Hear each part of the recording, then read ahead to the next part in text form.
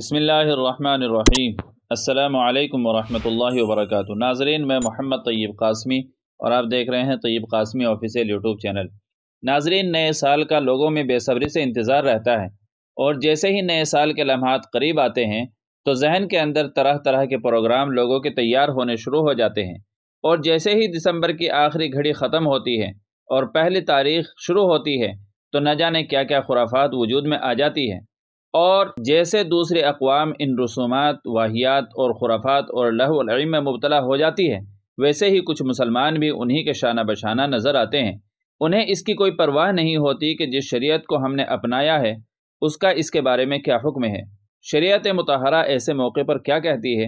اور ہمارے علماء کرام اور مفتیان نظام کا فتویٰ کیا ہے؟ تو کیا نیو ایئر والی رسومات میں شامل ہونا اور لوگوں کو ہیپی نیو ایئر کہنا یا میسیج بھیجنا جائز ہے؟ اور کیا نئے سال کی خوشی منانا چاہیے؟ تو اس سلسلے میں ہم دارالعلوم دیوبند کا فتویٰ آپ کے سامنے پیش کریں گے اور دیکھیں گے کہ دارالعلوم دیوبند نے فتوے کی شکل میں ہماری کیا رہنمائی فرمائی ہے۔ چنانچہ آپ سے گزارش ہے کہ آپ فتوے کو پورا دیکھیں اور چینل پر پہلی بار آئے ہوں تو چینل کو سبسکرائب بھی کر لیں تاکہ اس طرح کی مزید ویڈیوز آپ تک بر وقت پہنچتی رہے۔ چلیے پھر دارالعلوم دیوبند کے فتوے کا رخ کرتے ہیں۔ چنانچہ کسی نے دارالعلوم دیوبند سے سوال کیا جو کہ آپ اپنی اسکرین پر بھی دیکھ سکتے ہیں، جس کا عنوان ہے ہیپی نیو ایئر منانا کیسا ہے؟ سوال، کیا فرماتے ہیں علماء کرام مسئلہ ذیل کے بارے میں کہ ایک جنوری کو ہیپی نیو ایئر یعنی نیا سال منانا، پارٹی کرنا کیسا ہے؟ مہربانی کر کے مفصل اور مدلل جواب تحریر فرمائیں۔ جواب آپ اپنی اسکرین پر دیکھیے، بسم اللہ الرحمن الرحیم۔ کسی تاریخی مذہبی یا قومی اہم واقعے کی وجہ سے اس دن کو بطور یادگار منانا اسلام میں نہیں ہے۔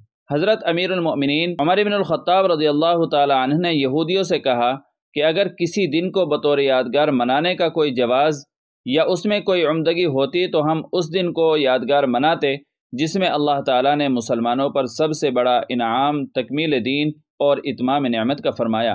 اور قرآن میں اس انعام کا ذکر، الیوم اکملت لکم دینکم و اتمم تو علیکم نعمتی و رضیت الکم الاسلام دینہ کی آیت کریمہ میں فرمایا گیا۔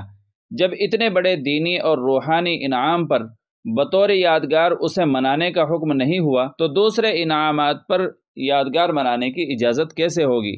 انعام خواہ دینی ہو یا دنیاوی، قومی ہو یا انفرادی، بس اسے فضل خدا بندی سمجھ کر اللہ کا شکر ادا کیا جائے۔ اس کے لیے اجتماع کی بھی ضرورت نہیں، نہ ہی پارٹی کرنے کی۔ یہ سب غیروں کا طریقہ اور نقالی ہے۔ نئے سال کے ذریعے ہمیں مزید اعمال صالحہ کرنے کا موقع ملا۔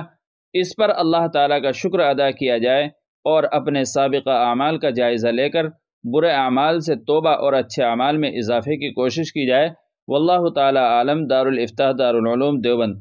تو ناظرین، فتوے سے یہ پتہ چلا کہ نیو ایئر کی خوشی منانا اسلامی طریقہ نہیں ہے، اس لیے اس سے پرہیز کرنا چاہیے، یہ سب غیروں کا طریقہ ہے اور نقل ہے۔